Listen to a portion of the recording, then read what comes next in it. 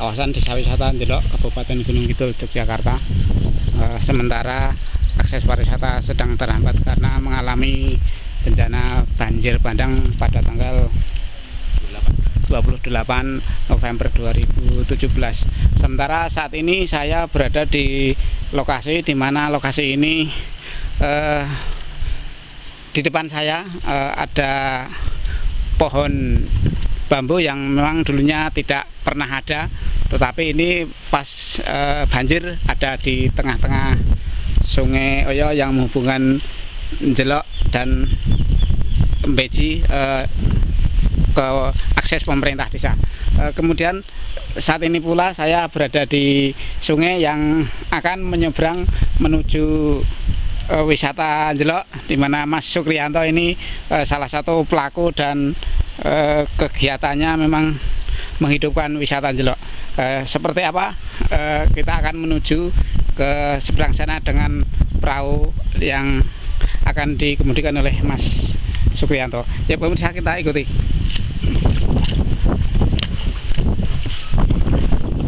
Ya, pagi Ya. ini kita akan mengunjungi dulu eh, sungai terbesar di Kabupaten Kidul yang melintasi di kawasan wisata Desa Wisata Jendok.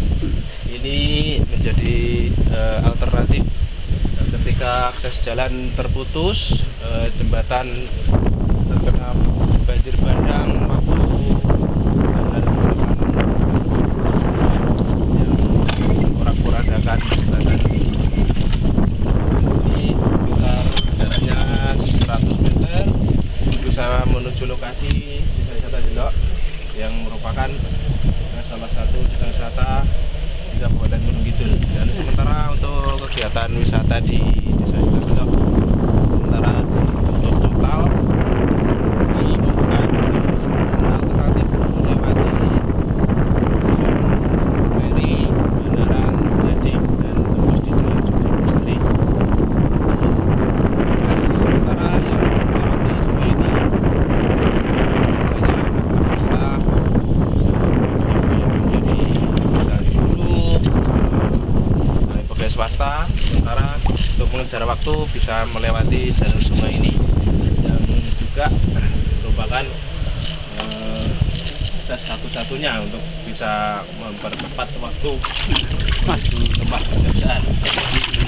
Mas Sukri ini eh, saya mau tanya ini ini kedalaman berapa ini untuk menyeberang ini? Kedalaman sekitar 2 sampai 3 meter ini. Kemudian dari kegiatan pariwisata yang eh, putus total ini eh, masyarakat yang kemarin kegiatannya pariwisata itu beralih ke Ya. apa saja ini? Eh, kembali ke pekerjaan semula jadi petani Hmm, tapi tetap eh, ke depan dan harapan jadi relawan perahu. Hmm, nah, Ke gitu ya. depan mas nanti kita hidupkan lagi pak. Hmm. Mungkin menjadi alternatif lain juga mungkin kita akan eh, pengadaan perahu wisata. Sejauh ini yang kira-kira untuk menghidupkan paling pendek eh, wisata Jelok apa nih Mas Sukri?